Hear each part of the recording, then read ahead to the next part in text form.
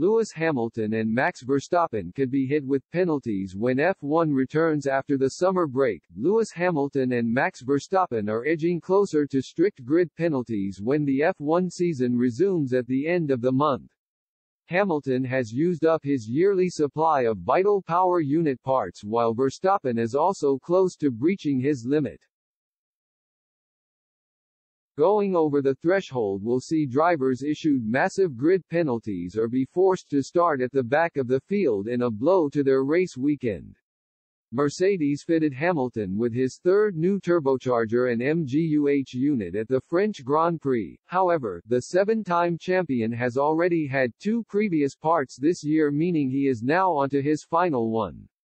This means if Hamilton switches this crucial part again this season he will likely be hit with a penalty. Meanwhile, Verstappen picked up a new internal combustion engine ICE, turbocharger, MGUH and MGUK ahead of the Hungarian Grand Prix. Red Bull fitted the parts after a nightmare qualifying session in which the reigning champion lost power moments before his final run. The changes mean the Dutchman has now used up all of his free power unit parts this season and will face a penalty for any further breaches. Charles Leclerc and Carlos Sainz have already exceeded their allowance after Ferrari has suffered a range of mechanical failures.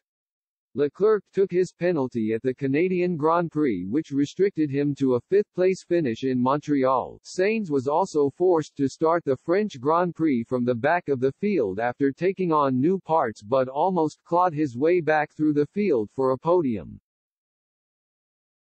Verstappen's Red Bull teammate Sergio Perez has also used up all three of his ICE units, MGUH, MGUK and turbocharger components. Other drivers one engine change away from receiving a penalty include Lando Norris, Esteban Ocon, Pierre Gasly, Zhou Guanyu and Mick Schumacher.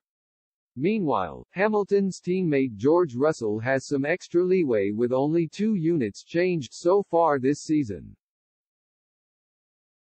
It means the former Williams star can change parts without incurring a penalty one more time in the next nine races. Drivers are issued a 10-place grid penalty the first time an additional engine component is used on their car. This is reduced to a 5-place grid penalty if the same part is replaced again. However, if a driver's combined penalty exceeds 15 grid places they will be forced to start at the back of the field.